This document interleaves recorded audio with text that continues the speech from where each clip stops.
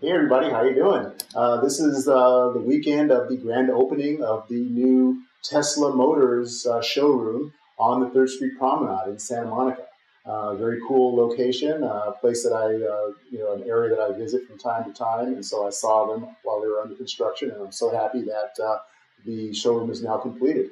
I went there to get another up close look of the Model S. I visited there other uh, Santa Monica Boulevard location, uh, very close by. But uh, from what I hear, the Santa Monica Boulevard location will now just be a, um, a service area, and the official showroom will, uh, from here on, be on Santa Monica, you know, on the Third Street Promenade.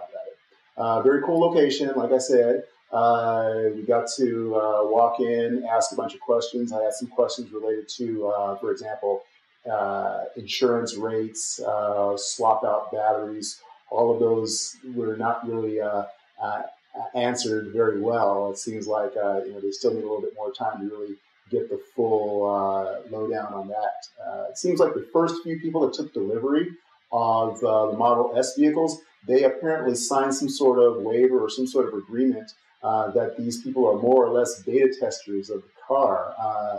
they are going to be closely monitored to see if there are any issues that need to be corrected.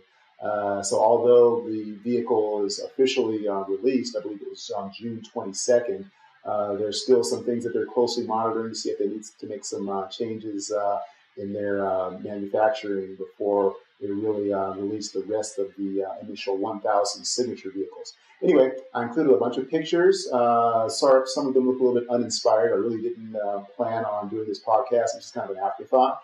But uh, after going there, I was very excited and uh, just started snapping away. So uh, I hope you enjoy some of the images that I uh, provided. Also, uh, I've got some shots of the Model X, which is also in the back, very back of the uh, showroom. this Model X, it's something that's, that's coming up in the future. They really haven't made an official announcement about it yet. But the pictures look really cool. Apparently, according to the person I spoke to, it was the one and only demo model. It's the same unit that was presented or unveiled in February.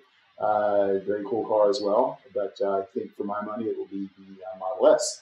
Anyway, uh, if you have any questions, just uh, include them in comments and I'll get back to you as quick as I can. And I uh, hope to have another one up for you soon. Thanks a lot.